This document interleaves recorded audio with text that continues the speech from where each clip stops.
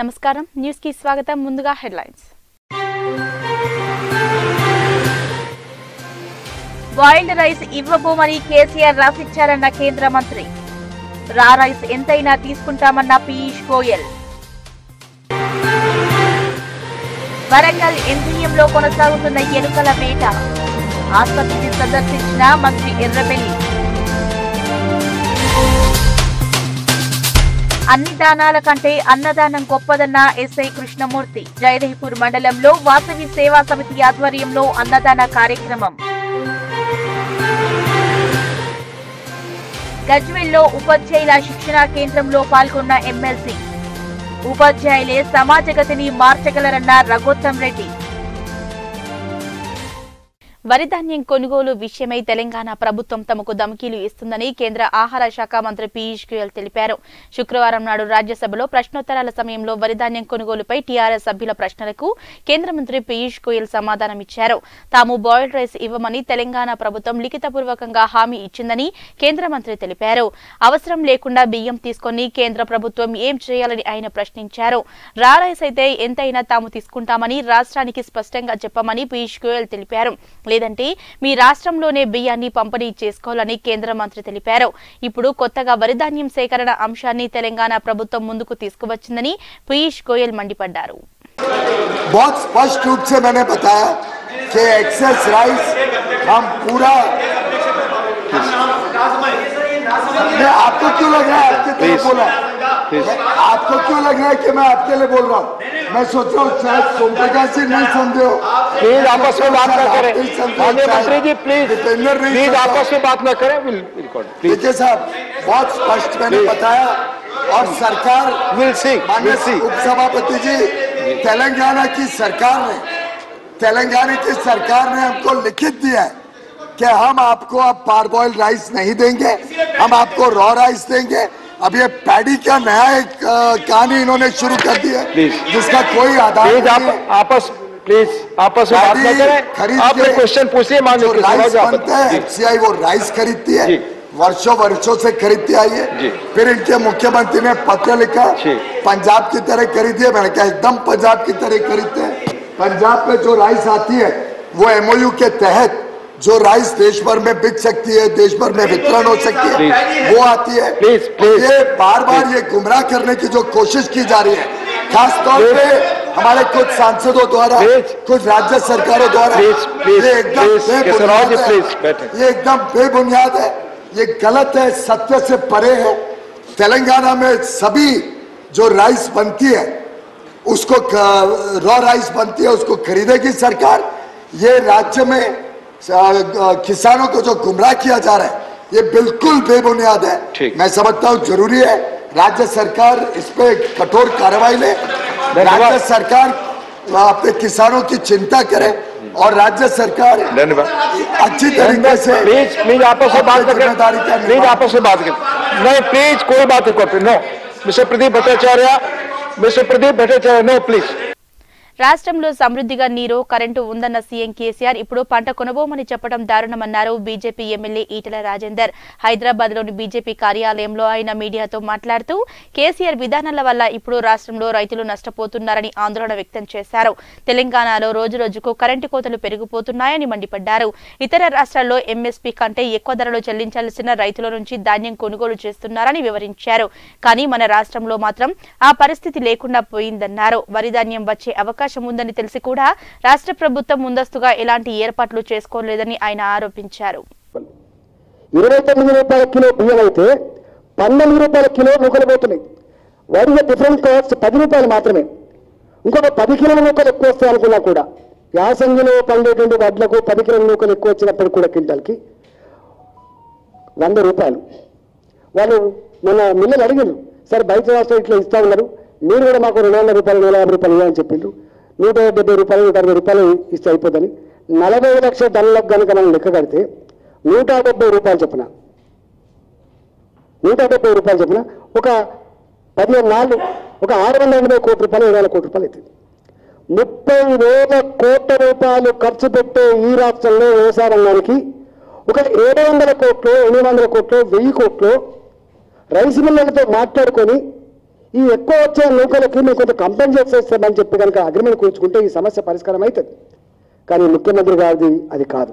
ముఖ్యమంత్రి గారి కథ ఏంటంటే తన కాళ్ళ కింద భూమి కదిలిపోతుంది కాబట్టి ప్రజాక్షేత్రంలో ప్రజలందరూ కూడా చీకొస్తుంది కాబట్టి తన మాటల పట్ల గౌరవం లేదు కాబట్టి వారు చెప్పేటన్ని మోసాలని చెప్పి ప్రజలకు అర్థమైంది కాబట్టి దీని నుంచి డైవర్ట్ చేయడానికి కేంద్రం మీద ఉసుగొట్టడానికి మేము ధర్నాలు పెట్టి వడ్లు కొంటలేదు వడ్లు కొంటలేదు అని చెప్పి చెప్తున్నాం. మీకు అందరికీ ప్రెస్ మిత్రులందరూ కూడా మేము కేంద్ర ప్రభుత్వం రాష్ట్ర ప్రభుత్వంతో కరస్పాండెన్స్ ఏదైతే ఉందో ఆ లెటర్లు అన్నీ కూడా మీకు పెడతాం వాట్సాప్లలో మీరు ఒకసారి చూడండి అవన్నీ. తెలంగాణ ప్రభుత్వం ఏమి రాసింది? కేంద్ర ప్రభుత్వం ఏమి సమాధానం చెప్పింది? అవన్నీ కూడా రాసి- రాసింది.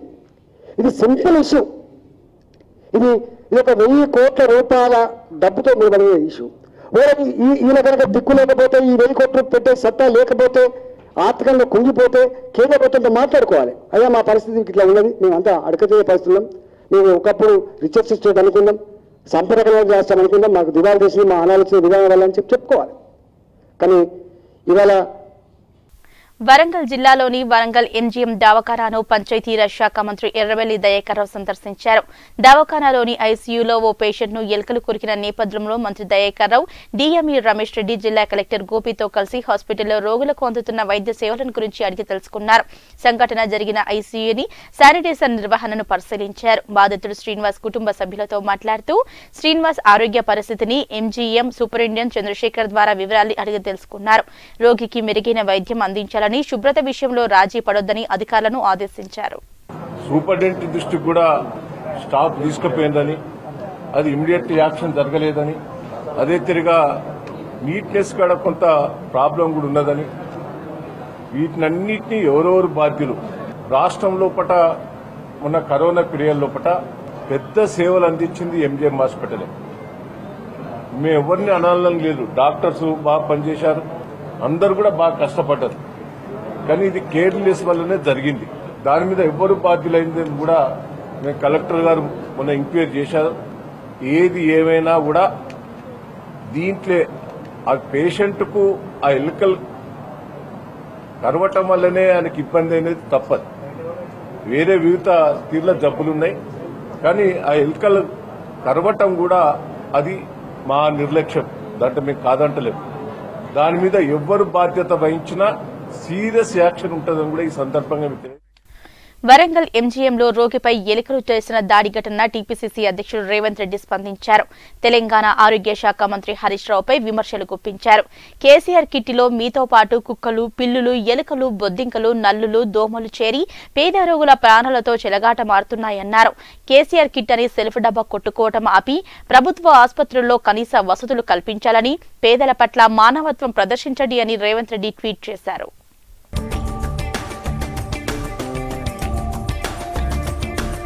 సిద్దిపేట జిల్లాలోని ఈఎల్ఈసీ శిక్షణా కేంద్రంలో శాసన మండలి సభ్యులు కూర రఘోత్తం రెడ్డి పాల్గొన్నారు. ఈ సందర్భంగా ఎమ్మెల్సీ మాట్లాడుతూ రాబోయే విద్యా సంవత్సరంలో ఒకటి నుంచి ఎనిమిదో తరగతి వరకు ఇంగ్లీష్ మీడియంలో బోధన ప్రారంభించబడుతుందని ఉపాధ్యాయులకు ఈ శిక్షణా కార్యక్రమం ఎంతగానో ఉపయోగకరంగా ఉంటుందన్నారు. ఖచ్చితంగా ఉపాధ్యాయులంతా ఆంగ్ల భాషలో నిష్ణాతులు కావాలని కోరారు. మన ఊరు మనబడి పథకం చారిత్రాత్మకమని సమాజగతిని మార్చే శక్తి ఉపాధ్యాయులకు మాత్రమే ఉందని తెలిపారు. వేసవి సెలవుల్లో బదిలీలు పదోన్నతులు ఉంటాయని తెలియజేశారు ఈ కార్యక్రమంలో జిల్లా అధ్యక్షులు ఏ శశిధర్ శర్మ పంచాయతీరాజ్ మాసపత్రిక సంపాదక సభ్యులు విజయపాల్ రెడ్డి రాష్ట్ర అసోసియేట్ అధ్యక్షులు పి రామకృష్ణారెడ్డి గజ్విల్ మండల అధ్యక్షులు ఓడెం వేమారెడ్డి ఎంఈఓ సునీత ప్రధాన కార్యదర్శి తీగుళ్ళ లింగంగౌడ్ రాష్ట్ర నాయకులు హనుమంతరెడ్డి శ్రీనివాస్ పోచయ్య గౌడ్ భాస్కర్ ఉపాధ్యాయులు పాల్గొన్నారు.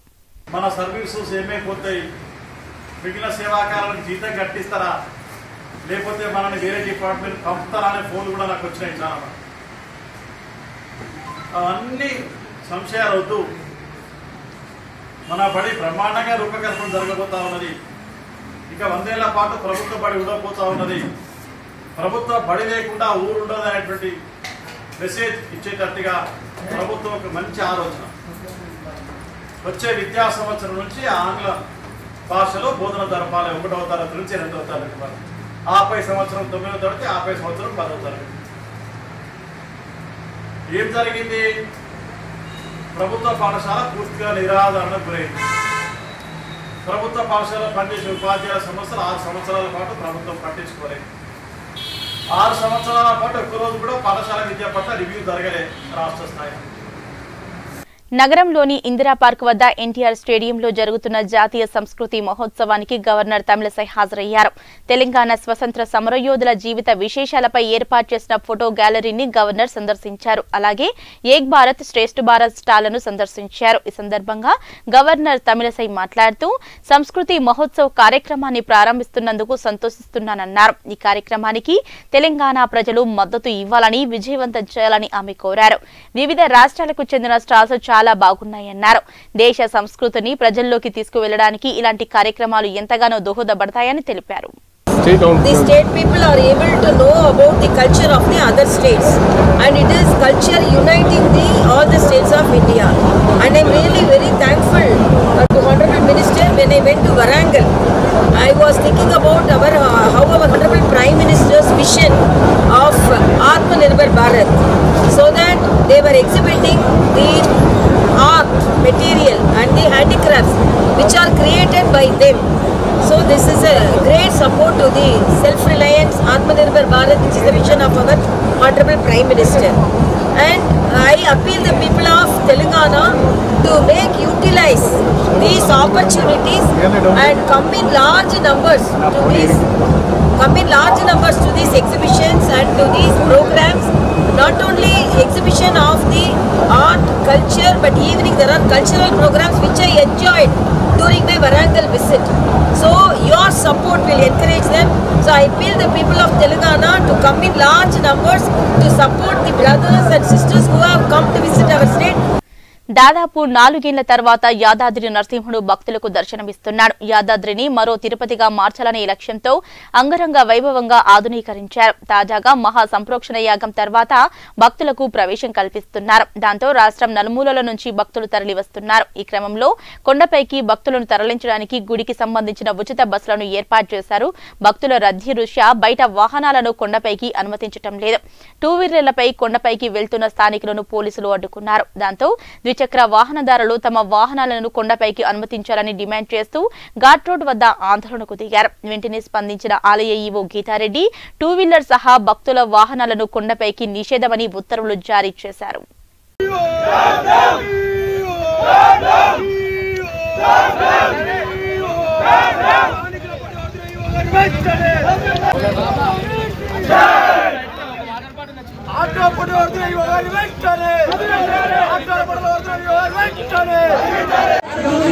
ఏదో ఒకటి తెలిసిపోతుంది ఇట్లాంటి మాట్లాడాలి మేడం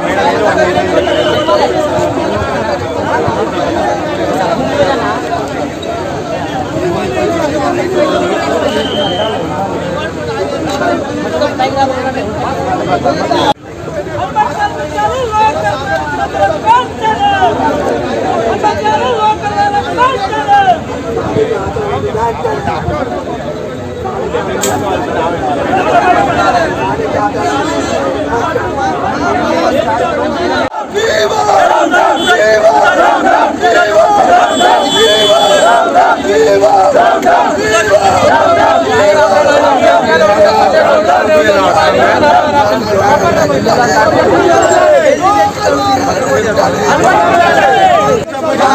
इतना बता అన్ని దానాల కంటే అన్నదానం గొప్పదని ఎస్ఐ కృష్ణమూర్తి తెలిపారు. ప్రతి నెల అమావాస్య రోజున అన్నదాన కార్యక్రమం చేపట్టాలన్న ఉద్దేశంతో జయదేపూర్ వాసవి సేవా సమితి ఆధ్వర్యంలో శుక్రవారం మొదటిసారి జయదేపూర్ కూరగాయల మార్కెట్ ఆవరణలో అన్నదాన కార్యక్రమం ఏర్పాటు చేశారు. ఈ కార్యక్రమానికి ఎస్ఐ కృష్ణమూర్తి హాజరై వాసవి సేవా సమితి సభ్యులతో కలిసి అన్నదాన కార్యక్రమాన్ని ప్రారంభించారు. ఈ సందర్భంగా సంఘం సభ్యులు ఎస్ఐ కృష్ణమూర్తిని శాలువాతో సత్కరించారు. అనంతరం ఆయన మాట్లాడుతూ ప్రతి అమావాస్య రోజు ఉచిత అన్నదాన కార్యక్రమాన్ని వాసవి సేవా సమితి వైశ్య సంఘం సభ్యులు చేపట్టడం అభినందనీయమన్నారు. ఇలాంటి మంచి కార్యక్రమాన్ని నన్ను ఆహ్వానించడం సంతోషంగా ఉందన్నారు. ఈ కార్యక్రమంలో వాసవి సేవా సమితి వైశ్య సంఘం సభ్యులు బుద్ధ నాగరాజు చిన్న సత్యం హరినాథ్ శేఖర్ చంద్రశేఖర్ కొండల్ సత్యపాల్ రాము శ్రీనివాసరావు రాము శ్రీనివాస్ వెంకటేశం కిరణ్ రమేష్ శంకర్ భాస్కర్ శ్రీను తదితరులు పాల్గొన్నారు. ఈ అన్నదాన కార్యక్రమం నిర్వహించడం జరుగుతుంది. ఈ రోజు ఇక్కడి నుంచే స్టార్ట్ అయింది కాబట్టి ప్రతి అమావాస్య కూడా ఈ వైశ్యులందరూ కలిసి ఈ వాసవి సేవా సమితి ఆధ్వర్యంలో అందరికీ కూడా ప్రతి అమావాస్య అన్నదానం జరుగుతుంది కాబట్టి దానికి ముఖ్య అతిథిగా నన్ను ఆహ్వానించడం అనేది నేను చాలా ఆనందపడుతున్నాను గర్వపడుతున్నాను వాస్తవంగా. ఎందుకంటే చాలా మంది ఎంతో మంది ఉన్నప్పటికీ కూడా అంటే పబ్లిక్ సేవ చేసే ఒక వ్యక్తిని ఎంచుకోవడం అనేది ఒక మంచి అవకాశం కల్పించిన వాళ్ళకు కూడా పేరు పేరున అందరికీ కూడా నమస్కారం తెలియజేస్తున్నాను ఇదే విధంగా కంటిన్యూ చేసి ఇంకా మధ్యలో మధ్యలో వారానికి ఒకసారి పెడితే కూడా బాగుంటుందని చెప్పి చాలా మంది కూడా అందరు కూడా లేనులకు అవకాశం కలిగిస్తుంది కాబట్టి ఈ అవకాశాన్ని అందరూ కూడా వచ్చి సద్వినియోగం చేసుకొని ఈ అన్నదానంలో పార్టిసిపేట్ చేయవలసిందిగా కోరుతున్నాం థ్యాంక్ యూ జయదేపూర్ మండల ఆర్యవైశ్య సంఘం ఆధ్వర్యంలో అమావాస్య అన్నదాన కార్యక్రమాన్ని ప్రారంభించడం చాలా శుభ పరిణామం. పితృదేవతలకి మోక్షం కొరకి అమావాస్య రోజు అన్నదానం అనేది చాలా శ్రేష్టమైనది. హిందూ సమాజంలో అమావాస్య రోజు అన్నదానం చేయడం వల్ల అటు ఏడు తరాలకి ఇటు తే- ఏడు తరాలకి మోక్షం జరుగుతుందని గరుడ పురాణంలో వివిధ గ్రంథాలలో ఉంది కాబట్టి అలాంటి అమావాస్య అన్నదానంలో పాల్గొనే భాగ్యం మంచి కార్యక్రమాన్ని మా జైపూర్ మండల వైశ్య సంఘం సోదరులు ప్రారంభించడం చాలా చాలా సంతోషం. ఈ కార్యక్రమం గతంలో రెండు సంవత్సరాల క్రితం గజ్వేల్లోనే. నేనే ప్రారంభించడం జరిగింది అక్కడ నడుస్తుండే. అట్లనే ఒక ఆరు నెలల నుంచి మన అరుణాథ్ సేట్ గారు మా సత్యమన్న రామన్న ఇట్లా కలిసి ఇక్కడ స్టార్ట్ చేయాలని సంకల్పించి కరెక్ట్గా ఉగాది రేపు శుభకృత నామ సంవత్సరం. శుభకృత నామ సంవత్సరానికి ఒక రోజు ముందు ఈ అన్నదానం ప్రారంభించడం చాలా సంతోషకరమైన విషయం. ఈ కార్యక్రమంలో పాల్గొన్న వైశ్య సోదరులందరికీ పేరు పేరున ధన్యవాదాలు తెలియజేసుకుంటున్నాం. జై అసెంబ్లీ ఎన్నికల ముందు కేసీఆర్ బయోపిక్ సినిమా రిలీజ్ చేశారని ప్రముఖ డైరెక్టర్ రామ్ గోపాల్ వర్మ ప్రకటించారు. సినిమాకు కావలసిన స్క్రిప్ట్ అంతా రెడీగా ఉందన్నారు. నిజ జీవితాన్ని అనుకరించి తీసే సినిమా కావడంతో స్క్రిప్ట్ పెద్ద కష్టమేమి కాదన్నారు. డ్రామాలతో కూడిన పొలిటికల్ సినిమాలు తీసిన తాను వాస్తవ ప్రస్తుత రాజకీయాలు అంతగా ఫాలో అవనని ఆయన స్పష్టం చేశారు. తాను డైరెక్ట్ చేసిన డేంజరస్ మూవీ ట్రైలర్ను ఢిల్లీలోని ఆంధ్ర అసోసియేషన్ హాల్లో హీరోయిన్స్ నైనా గంగూలీ అప్సరా రాణిలతో కలిసి ఆర్జీవీ చూశారు. అనంతరం ఆయన మీడియాతో మాట్లాడారు. దాని మీద కొంచెం ఒక ప్యాటర్నైజింగ్ లుక్ ఏదో కొంచెం వాళ్ళు వాళ్ళని కూడా మన మనుషులుగా చూడాలి వాళ్ళని వెలివేయకూడదు అని అని ఒక అలాంటి దుస్తులు తీసిన సినిమా. ఈ పర్టికులర్ సబ్జెక్ట్ మీద. కాకపోతే రెగ్యులర్గా అలాంటి జరుగుతూ ఉంటాయి కాబట్టి మామూలుగానే వాళ్ళని కూడా మామూలుగానే తీసుకుని దాని గురించి ఎక్కువ ఎంఫసైజ్ చేయకుండా చేయాలనేది నా ప్రయత్నం. అది మెయిన్ థింగ్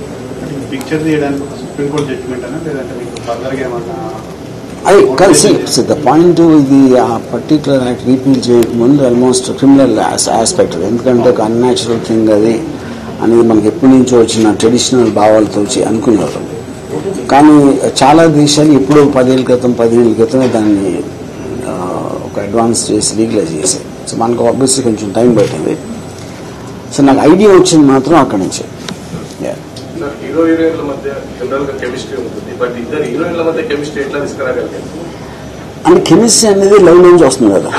ఎవ- ఎవ- ఎవరు ఎవరిని ప్రేమించినా ఫైనల్గా కెమిస్ట్రీ అనేది లవ్ నుంచి వస్తుంది కాబట్టి కెమిస్ట్రీ కుదిరింది సార్. కెమిస్ట్రీ కుదిరింది అంటే అది మీరు సినిమా చూసి చెప్పాలి. కాకపోతే నేను అంటే ఫస్ట్ నేను ఇది అంటే ఒక యాక్టర్స్ ఒప్పించడానికి ఆబ్వియస్లీ ఫస్ట్ టైం ఇలాంటివి చేశారు కాబట్టి ఏ యాక్టర్కైనా కొంచెం ఒక చిన్న ఒక టెన్షన్ ఉంటుంది. ఇలాంటిది చూస్తారా యాక్సెప్ట్ చేస్తారా ఇలా చేస్తే నన్ను ఎలా చూస్తారు అనేది ఉంటుంది. సో టోటల్ స్క్రిప్ట్ అంతా చదివిన తర్వాత వాళ్ళిద్దరు కూడా they very convinced Hyderabad Gachibowli TIMS ఆసుపత్రి దగ్గర ఉద్యోగులు ఆందోళన చోటు చేసుకుంది. Security housekeeping staff patient care service ఉద్యోగులు నిరసనకు దిగారు. రెండు నెలలుగా జీతాలు ఇవ్వటం లేదంటూ ధర్నాకు దిగారు. తమకు వెంటనే జీతాలు పీఎఫ్ చెల్లించాలని డిమాండ్ చేశారు. డాక్టర్లు నర్సులను తిరిగి డ్యూటీకి తీసుకున్నట్లుగానే తమను కూడా విధుల్లోకి తీసుకోవాలని ఆందోళన చేశారు. రెండు నెలల జీతాలు! రెండు నెలల జీతాలు!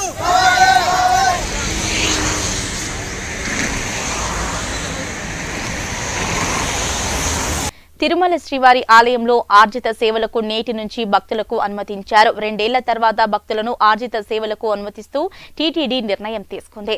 కరోనా కారణంగా రెండు వేల ఇరవై మార్చిలో శ్రీవారి ఆలయంలో ఆర్జిత సేవలకు భక్తులను అనుమతిని టీటీడీ నిలిపివేసింది. అప్పటి నుంచి శ్రీవారి ఆలయంలో అన్ని ఆర్జిత సేవలు ఏకాంతంగానే జరుగుతున్నాయి. మళ్ళీ నేటి నుంచి ఆర్జిత సేవలు మొదలయ్యాయి. భక్తులు ఇవాటి నుంచి ఆర్జిత సేవల్లో పాల్గొనడానికి వీలుగా ఇప్పటికే టీటీడీ ఆన్లైన్ ద్వారా సేవా టికెట్లను విక్రయించింది. విపరీతమైన డిమాండ్ ఉన్న సుప్రభాతం. తోంహల అర్చన అభిషేకం లాంటి ఆర్జిత సేవా టికెట్లను కూడా లక్కీ డిప్ విధానం ద్వారా కేటాయింపు చేశారు. అయితే వృద్ధులు వికలాంగుల దర్శన టోకెన్ల ఆన్లైన్ విడుదలను ఏప్రిల్ ఒకటి నుంచి ఎనిమిదికి వాయిదా వేశారు అధికారులు. దేశవ్యాప్తంగా ఉండే భక్తులందరికీ కరోనా మహమ్మారి నుంచి ప్రజలందరూ సురక్షితంగా బయటపడినారు. ఆ సందర్భంగా తిరుమల తిరుపతి దేవస్థానంలో స్వామివారి నిత్యము జరిగే సేవా కార్యక్రమాలు కూడా ఈ రోజు నుంచి ప్రారంభించడం జరిగింది. అత్యంత వైభవంగా ఎంతోమంది భక్తులు టికెట్లు ఆన్లైన్లో బుక్ చేసుకొని కొందరు ప్రత్యక్షంగా బుక్ చేసుకొని ఈరోజు స్వామివారి సేవా కార్యక్రమంలో మార్నింగ్ సుప్రభాత సేవలో పాల్గొన్నారు తర్వాత సోమాల సేవలో పాల్గొన్నారు. ఇప్పుడు అభిషేక సేవ కూడా ముగించుకొని భక్తులు బయటకు వచ్చారు. భక్తులు ఆనందం చూస్తే ఎంతో తృప్తిగా ఉంది. ఎందుకంటే దాదాపు రెండు సంవత్సరాల తర్వాత స్వామివారి సేవలో పాల్గొంటున్నాం. ఇంత అదృష్టం స్వామివారు మనకి కల్పించారు. దేశంలో ప్రపంచవ్యాప్తంగా కూడా కరోనా మహమ్మారి నుంచి ప్రజలందరినీ కాపాడి ఈ పరిస్థితి కల్పించారని భక్తులందరూ కూడా ఎంతో గొప్పగా స్వామి రాజన్న సిరిసిల్ల జిల్లా వేములవాడ సమీపంలోని తిప్పాపూర్లో దారుణం జరిగింది. చికెన్ కొనుగోలు విషయంలో ఇరు వర్గాల మధ్య గొడవ జరిగింది. ఈ ఘర్షణలో చికెన్ సెంటర్ యజమానిపై అడ్డు వచ్చిన వారిపైన పూసల వ్యాపారులు యాసిడ్ దాడి చేశారు. కొంతకాలం నుంచి రాజన్న ఆలయ ప్రాంతంలో పూసల వ్యాపారం చేస్తున్న వారు చికెన్ కోసం తిప్పాపూర్ వెళ్తారు. కిలో కొనుగోలు చేసి వెళ్ళిపోయారు మళ్ళీ రాత్రి వచ్చి చికెన్ బాగోలేదని వాగ్వాదానికి దిగారు. చికెన్ సెంటర్ యాజమాన్యంపై దాడికి దిగారు. అక్కడే ఉన్న కొందరు చికెన్ సెంటర్ యజమానికి సపోర్టుగా వెళ్ళారు. ఇరు వర్గాల మధ్య కొట్లాట జరిగింది. దీంతో పూసల వ్యాపారులు చికెన్ సెంటర్ యజమానితో పాటు మరో ఎనిమిది మంది పైన యాసిడ్ దాడి చేసి పారిపోయారు. బాధితుల్ని ప్రైవేటు హాస్పిటల్కు తరలించి ట్రీట్మెంట్ అందిస్తున్నారు. పోలీసులు కేసు నమోదు చేసి దర్యాప్తు చేస్తున్నారు.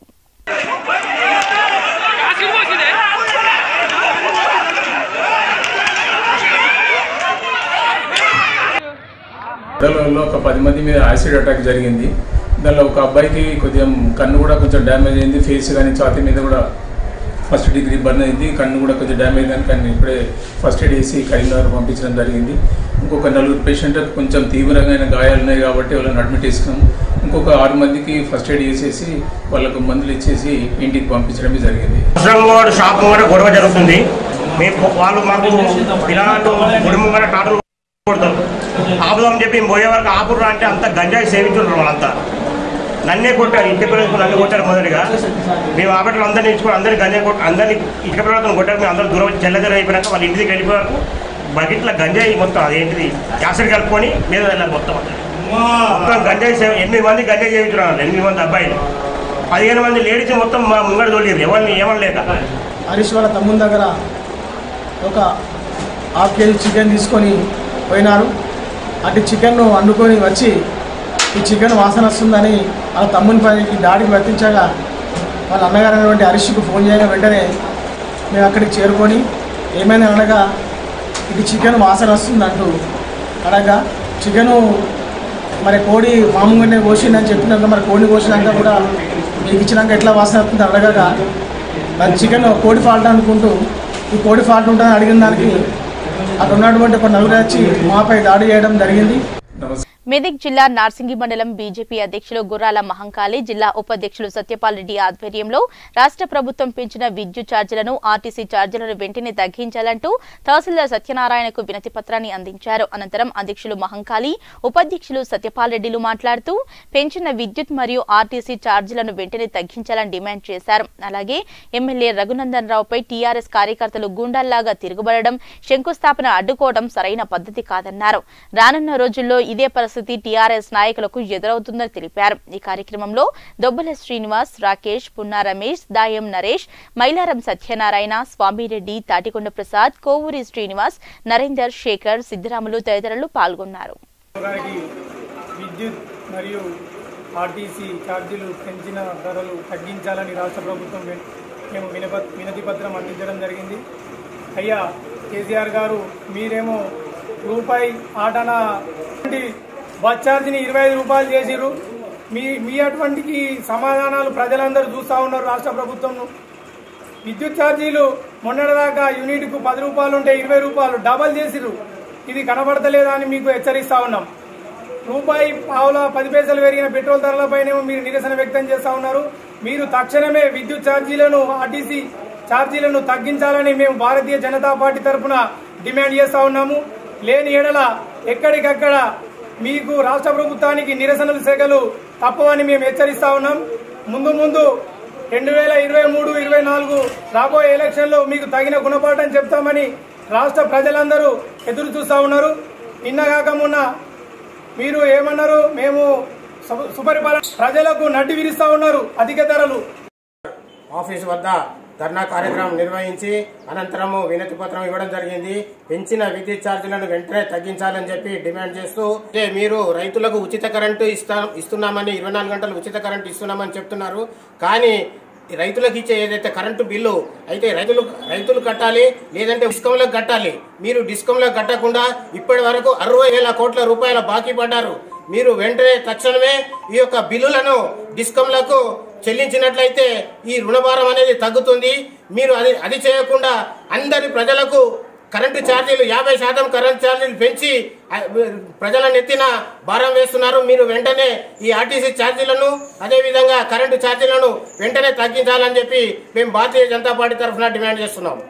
న్యూస్ ముగించే ముందు హెడ్లైన్స్ మరోసారి. బాయిల్డ్ రైస్ ఇవ్వబోమని కేసీఆర్ రాసిచ్చారన్న కేంద్ర మంత్రి. రారైస్ ఎంతైనా తీసుకుంటామన్న పీయూష్ గోయల్. వరంగల్ ఎంపీఎంలో కొనసాగుతున్న ఎలుకల వేట ఆసుపత్రిని సందర్శించిన మంత్రి ఎర్రబెల్లి.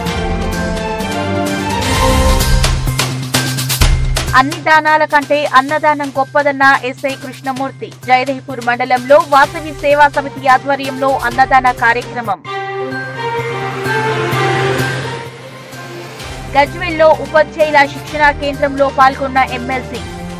ఉపాధ్యాయులే సమాజగతిని మార్చగలరన్న రఘోత్తం రెడ్డి.